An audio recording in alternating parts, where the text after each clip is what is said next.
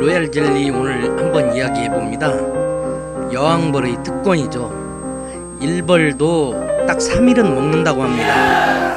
나머지는 여왕벌이 먹는데요. 여왕벌이 먹는 로얄 젤리를 오늘 한번 얘기해 보려고 합니다. 일벌보다 몸집이 두배 이상 크고 산란 능력과 수명은 무려 7년. 일벌, 일벌은 약 7주 정도를 산다고 하니까 엄청나게 사는 거죠. 그 효능이 거의 맞습니다. 산란 능력이나 이런 부분은 어, 노화 방지나 피부 미용에 좋다고 하고 어, 오래 사는 거 이런 것은 사람의 욕심도 마찬가지죠. 단맛이 느껴진다고 생각하는데 단맛이 나지 않고 좀 신맛이 납니다. 관절염에도 좋고 혈관 건강에도 좋고 나쁜 콜레스테롤도 제거하는 로얄 젤리는 가격도 어마무시하게 높습니다. 근데 이건 뜨거운 물에는 효능이 다 날아가 버립니다. 60도 이상에서 뭐 차로 먹는다든가 이렇게 했을 경우에는 어 그냥 맹물 먹는 거하고 똑같습니다. 여기에 초록빛 매실 같은 경우 같이 먹으면 좋지 않다고 합니다. 뜨거운 물에는 효능이 날아가 버리고 찬물에는 잘 녹지 않기 때문에 아주 이거 먹기가 쉽지 않습니다.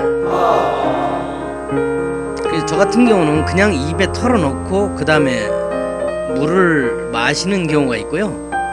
이게 꿀과 궁합이 잘 맞습니다. 꿀에 개서 먹으면은 단맛도 느끼고 먹기가 아주 좋습니다. 너무 많이 먹으면 또 안 좋은데요.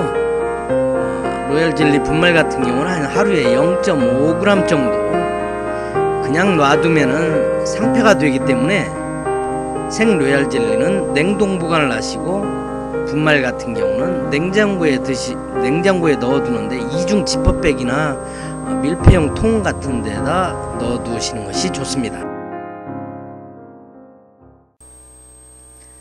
항상 영상을 만들고 나면 뿌듯하다가 영상을 재생하고 나면 많이 부족하다는 걸 느낍니다.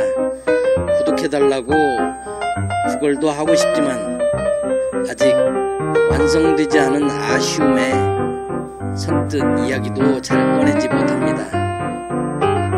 그래도 한번 구독하기 한번 요청해 봅니다. 나눌맨 구독하기 한번 부탁드립니다.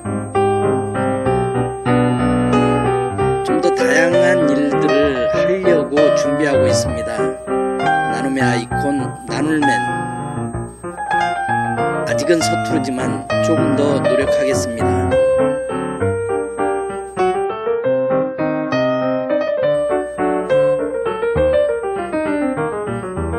유튜브에서 나눌맨 한번 검색해 보시고요. 제 얼굴 누르면 구독하기가 나옵니다. 구독하기 한번 눌러주시고요. 좌우측에는 제가 관심 있는 영상을 한번 올려놓은 것입니다. 한 번씩 봐주시면 감사하겠습니다.